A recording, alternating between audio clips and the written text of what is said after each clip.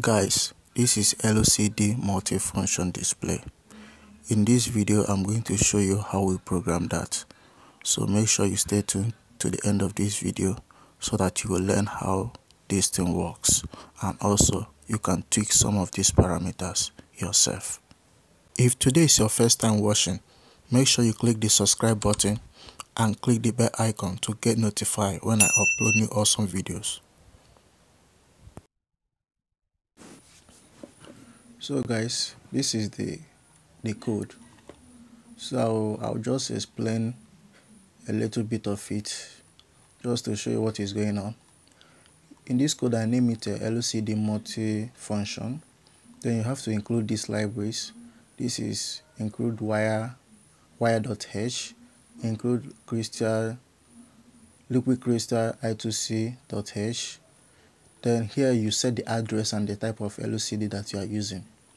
So that is it. Here I define some of the functions uh, some of our input pin and output pin using the hash defined. So I didn't use an integer in order to create a, a space in order to create more space in the micro uh, memory. That's why I use this hash define instead of integer.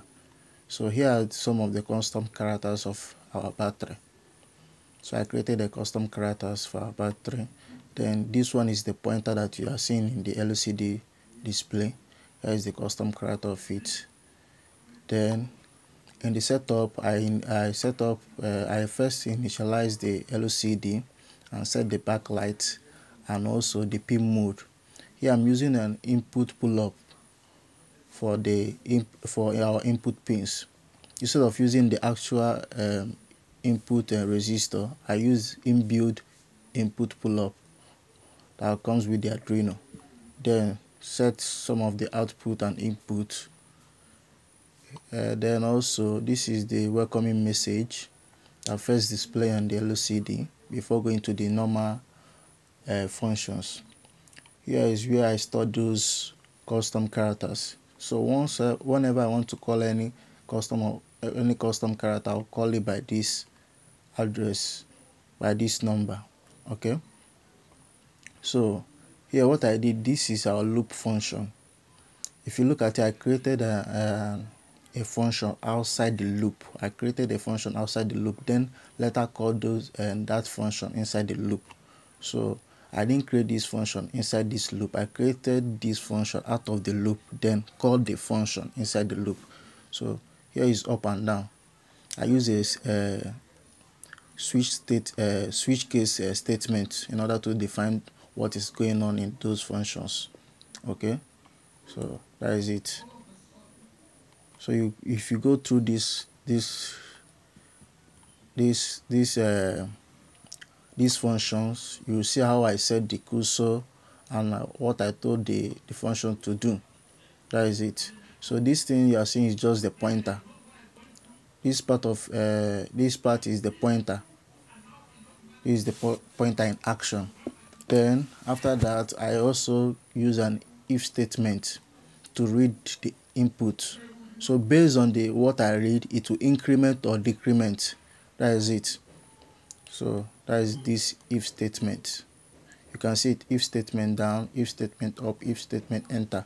Based on what this thing reads we determine the where the function or where the pointer will be pointing in the LCD so that is it. Then once you press enter using the same if, uh, if statement uh, the same uh, switch case you can see that I created this enter function out of the loop. So based on what you press we determine what it will display. That is it. That is all this thing you are seeing here.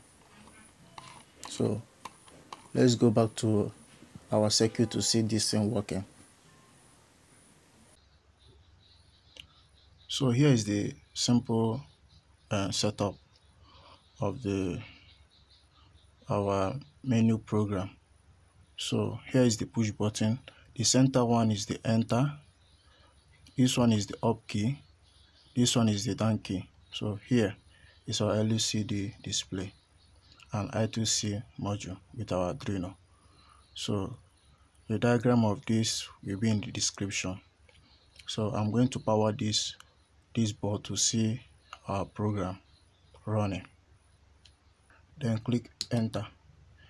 It will show me the battery status the parameters. So after some times it will return back to the main menu. Then let's go to temperature to check what is in the menu. So so this is temperature temperature 1 2 and 3 so this is just showing normal text because there is no input uh, input sensor. So it's going to be displaying this normal text. So in our second video we'll be attaching those uh, input sensors of temperature battery and other things. So after some minutes it will return back to the main menu so it has returned back to the main menu. So we are going to the AC voltage to check what is there. So click enter. So this is what is displaying in the AC voltage status. The voltage current and watts. So let's check the load. Click enter.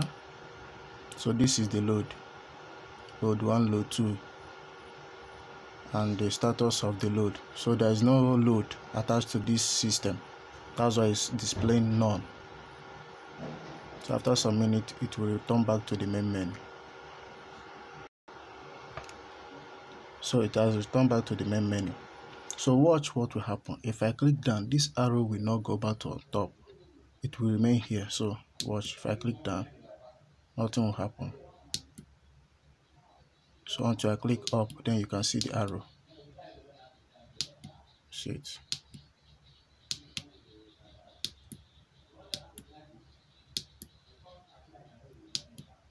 so that is it.